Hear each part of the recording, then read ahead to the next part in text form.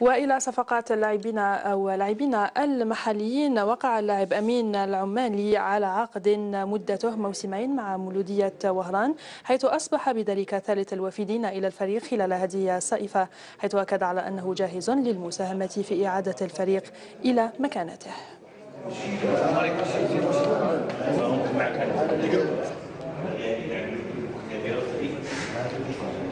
مولودية وهران نبغيها حاجة الأولى هذه. و